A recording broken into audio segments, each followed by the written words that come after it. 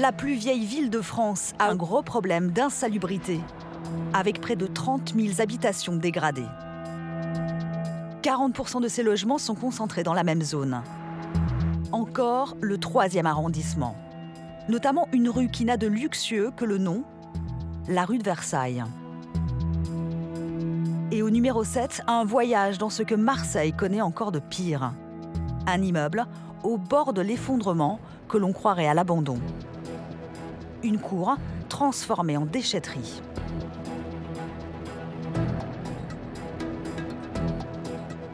Vous en avez trois là. Au milieu des ordures, Voilà. des seringues usagées. Ouria, une habitante, ne décolère pas. Il vient, là, il s'assoit, il fume. Vous avez là le, le truc, là, ils se mettent là, ils fument. Ils se piquent, ils jettent, et les petits, ils viennent. Et les petits, ils se font, ils croient que c'est un jeu. L'ascenseur, lui, n'a jamais décollé du rez-de-chaussée. À l'étage, les fenêtres sont cassées et les branchements électriques risquent le court-circuit. Ouria tient à nous montrer l'intérieur d'un des appartements de l'immeuble. Huit enfants en bas âge y vivent. Le balcon menace de s'écrouler à tout moment. Il y a les petits, ils sortent pas ici, non Non, ils sortent pas ici. Ah oui, c'est Depuis qu'ils ont dangereux. cassé, non, ils sortent pas. Ça, c'est dangereux, ça. Depuis un an, certains locataires se battent pour obtenir une rénovation de leur immeuble. Séverine Decaux est leur avocate. Dans sa mallette, un document très compromettant pour les propriétaires des appartements. Les copropriétaires de l'immeuble 6-7 rue de Versailles, 3e arrondissement de Marseille, doivent, sous un délai de 6 mois à compter. En avril 2014, un arrêté de péril tombe sur l'immeuble. Les propriétaires ont six mois pour faire des travaux sous peine d'amende. Les locataires sont, eux, censés être relogés par la mairie de Marseille. Un an plus tard, rien n'a été fait et tous les appartements sont encore pleins. L'immeuble est dans l'illégalité la plus totale.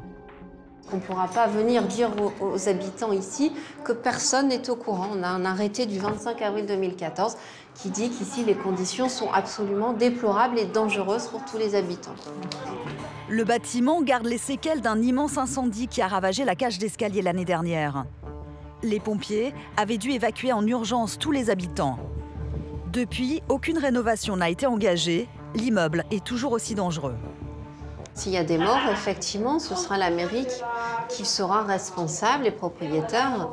Euh, on pourra se retrouver effectivement devant une juridiction pénale pour que ces personnes irresponsables soient jugées pour homicide involontaire, absolument.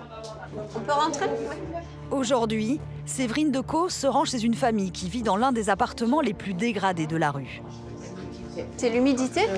Les murs du salon sont constellés de champignons noirs toxiques pour la santé des habitants. C'est scandaleux, c'est choquant, d'autant que le propriétaire n'est pas venu, n'a pas fait les travaux, rien n'a été fait. Rien. Et que vous a dit l'inspecteur d'insalubrité quand il est venu la dernière fois? Qu'est-ce qui va se passer? L'inspecteur qui est passé, c'est monsieur. C'est l'inspecteur, oui. C'est vous Hasard de tournage, l'inspecteur d'insalubrité de la mairie est de passage dans l'immeuble ce jour-là. Ça fait quand même quelque temps que vous venez, ça fait trois ans que vous venez, que vous envoyez des papiers au propriétaire. Des procès-verbaux et des amendes comme seule réponse. La mairie de Marseille serait-elle dépassée par l'insalubrité de la ville Comment vous expliquez une situation pareille Il y a, tro- il y a deux, deux ou trois ans de courrier et, et regardez les- De l'humidité, ouais. l'état de l'état de l'appartement. C'est c'est dommage, moi j'ai pas de photo de l'état. Je connais cet état, enfin, je connais d'autres quartiers de Marseille. Certes, il y a des problèmes d'insa- d'insalubrité, mais si le le logement n'est pas insalubre, c'est compliqué. Pas assez insalubre pour être traité. L'explication de l'inspecteur d'hygiène révolte Séverine Decaux. Il faut lui demander de venir vivre ici peut-être pendant quelques mois, peut-être que là il se dira c'est insalubre. Je sais pas, il faut venir voir les chambres, c'est une catastrophe. Voilà. Dans quoi les enfants dorment. Ça c'est pas insalubre pour l'inspecteur d'insalubrité. Quatre enfants vivent dans cette toute petite chambre. Se lavent dans cette salle de bain impraticable. Et souffrent de graves problèmes de santé. L'armoire à pharmacie déborde de médicaments pour soigner les troubles respiratoires. C'est difficile, parce qu'à chaque fois, les enfants, sont hospitalisés à cause de l'humidité. Ils sont malades, d'accord, voilà. Tu n'as pas respiré. Vous regardez. De. Voilà. On reste sans voix devant ça. Enfin, c'est, euh, voilà. Rue de Versailles, le renouveau de Marseille se fait toujours attendre. Ça serait bien qu'il y ait un peu d'argent qui soit dépensé aussi pour le renouveau du 3e arrondissement. Six mois après notre tournage, la situation dans la rue de Versailles est toujours aussi catastrophique. Depuis cinq ans, l'État a pourtant débloqué plus de 3 milliards d'euros pour rénover Marseille. Mais l'essentiel de cet argent a été investi dans le centre-ville et les quartiers nord, à seulement quelques centaines de mètres du 3e arrondissement.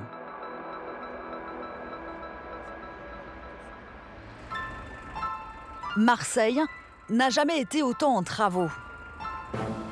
Des dizaines de grues constellent le paysage. Mais une grande partie des chantiers sont confrontés à un problème récurrent. En mars 2015, la une de la Provence va bouleverser le milieu du BTP et rappeler que le premier frein au renouveau de la ville tient en six lettres raquette. Les vols sur les chantiers représentent 50 millions d'euros par an dans le département. Intimidation, menaces de mort, vol, violence. La délinquance sur les chantiers marseillais a augmenté de 35% en seulement un an. La rénovation des cités et la L2 sont perçues comme une déclaration de guerre. Nous avons enquêté pour comprendre le fonctionnement du racket sur les chantiers de Marseille. Il s'agit en fait d'un système de chantage à l'emploi. Première étape, les dégradations sur les engins. Les racketteurs montrent aux ouvriers que le chantier est dangereux pour eux. Comme ici, sur un des tronçons de la L2, le futur périphérique de Marseille. Nous découvrons une foreuse carbonisée la veille. D'après le conducteur de travaux, l'agression n'a duré que quelques secondes. Normalement, c'est ce qu'on ressort de la première constatation, quand il y a une Molotov, euh, depuis la route. Donc pour vous, qui a fait ça? Bah, c'est des hommes. Ouais. Ouais, il les gardé, ils ont vu, les scooters et tout, quoi. Il vient, il remarque et tout, quoi. Après, Ouais. il s'en va. Les jeunes du quartier auraient lancé des engins incendiaires sur cette machine qui perce les tunnels de la L2. Il s'agit de la plus grande foreuse d'Europe. Le coût de l'attaque est exorbitant. Ça, ça vaut euh, 1 million 3 1 million 300 000 euros.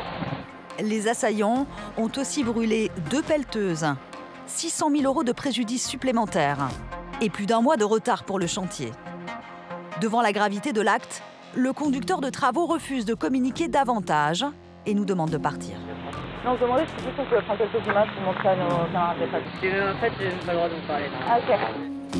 L'omerta est totale. Le racket, tout le monde le subit, mais personne n'en parle. Pour terroriser les ouvriers, les agresseurs ne se contentent pas des dégradations. S'y ajoutent les intimidations physiques. On, refuse systématiquement de travailler tout seul. Donc c'est pour ça que je suis avec mon collègue. Hein. Il y en a qui vont menacer de mort ici. Le minimum syndical, ce sont des menaces de mort. Parfois, cela va beaucoup plus loin. Tous les jours, il y a une coup de toute façon ici. Si c'est pas les jeunes, c'est le, le matériel. Si c'est pas le matériel, ils envoient des pierres d'en haut, les murs, euh, ils ont arrêté, personne ne travaille. Ils ont bloqué le chantier. Mais sous la, sous la menace? Ouais, c'est la menace. Ouais. Si on travaillait, qu'ils nous coupaient les jambes, tout ça. Le mec qui s'est braqué la dernière fois, il sa chaîne. Et ils l'ont braqué avec euh, une arme. Ouais, avec une arme. C'est une calibre. Il y a des gens qui parlent de raquettes, vous en pensez quoi C'est une raquette. On appelle ça comme ça. Hein. Comme le mec qui est venu la dernière fois, qui dit si, je travaille pas demain, tu peux pas besoin de comme une soir. Ah ouais C'est une raquette, ça. Pourquoi tous ces chantiers sont-ils attaqués? Pourquoi les jeunes des cités cherchent-ils à terrifier les ouvriers qui y travaillent? Nous sommes allés rencontrer ceux du quartier où la foreuse a brûlé. Ils refusent de parler de raquettes. Pour eux, il s'agirait d'un problème d'emploi. Madame, ils veulent travailler. Ils sont dans leur quartier. Euh, les jeunes, ils ont 20, 25 ans. La plupart, ils sont nés ici. Vous imaginez On vient travailler dans votre quartier. Vous, vous n'avez pas de travail. C'est des, euh, des travaux, excusez-moi, que tout le monde peut faire. C'est juste des jeunes qui ont envie de travailler. Donc ils descendent, c'est vrai, ils descendent, ils disent que le chantier s'arrête parce qu'ils veulent travailler. Après, pour moi, ils ont raison. Raquette, c'est un grand mot. Hein. C'est normal. Raquette, c'est- on n'est pas, on n'est pas dans le banditisme. Il n'y a pas de raquette. C'est juste des jeunes qui ont envie de travailler. Ces jeunes nous livrent la clé du système, l'embauche. Celui qui organise le racket envoie des petites mains attaquer les chantiers pour forcer les conducteurs de travaux à employer des personnes de la cité. En retour, les dégradations et les agressions s'arrêtent. Les entrepreneurs achètent ainsi leur tranquillité. Il y a quelques années, sur un chantier marseillais, nous avions réussi à filmer ce moment où tout se joue. Aujourd'hui, le mode opératoire est toujours le même. Le racketteur est à chaque fois le responsable d'une société de sécurité locale. C'est pas nous, parce qu'on est une boîte de secteur. Ouais. C'est légitime de prendre les personnes qui se trouvent autour du site, parce que le problème, c'est que ici, on a répété encore ce qu'on a dit, il y a beaucoup de personnes qui ne travaillent pas. Aux alentours, il y a 75% de taux de chômage ici. Ouais. Et nous, on est là pour, euh, pour faire en sorte que les personnes travaillent. Après avoir parlé du chômage des jeunes du quartier, le discours se fait plus clair. Pour que le chantier ne soit pas attaqué, il faut prendre leur entreprise de sécurité. Si nous, on a envie de passer par une autre société de gardiennage, Mais Allez-y, vous avez, vous avez le droit, vous avez le droit, allez-y, prenez votre sécurité. Après les gremlins qui sont en haut, nous, on ne les tient plus. hein. Les Gremlins, ce sont les jeunes de la cité voisine qui sont envoyés pour dégrader les chantiers. Le ton des racketteurs se durcit. Bien sûr, je t'ai dit, tu as tous les droits. Ouais, en plus, Sauf ces, logements, ils vont être construits. C'est pour Non. répondre à une demande. Il y a, il y a des gens qui, ont- qui un. cherchent des Tu logements. as tous les droits, sauf l'appartement, c'est combien le prix de l'appartement Tu de t'en battre les couilles, déjà, ils n'ont pas d'argent. Certains essayent de résister aux pressions des racketteurs. Mais les conséquences pour ceux qui ne payent pas sont dramatiques. C'est la troisième étape, les menaces sont mises à exécution. Mehdi en a fait l'amère expérience. Il a presque 40 ans, dont 15, passés à diriger des chantiers dans les quartiers nord de Marseille. Il y a quelques mois, il a failli perdre la vie. J'ai un de mes gars qui crie mon nom et qui, qui me dit attention, attention, ils arrivent, ils sont nombreux. Et je me retourne et j'en vois, je vois plein de gars cagoulés avec des couteaux. Ils avaient une espèce de veste avec, euh, c'était, je peux pas vous dire si c'était un fusil à pompe, mais voilà, c'était assez large comme ça. Personnellement, je dirais une canache. Je dire en moins de 10 minutes, euh, arriver avec des cagoules et armés. euh, c'est vraiment des gars préparés à des meurtres, à des, euh, règlements de compte ou des trucs comme ça. Nous battre un jour comme ça, c'est c'est fou, c'est le monde de fou. Terrorisé, Mehdi s'enfuit et se cache entre deux voitures, attendant que son supérieur vienne l'extraire en urgence. Depuis l'incident, Mehdi vit avec un contrat sur la tête. Il a porté plainte pour menace de mort et agression à main armée. Désormais, le chef de chantier est rentré dans le rang. Sur ses nouveaux projets, il embauche des jeunes du trafic de drogue pour acheter sa tranquillité.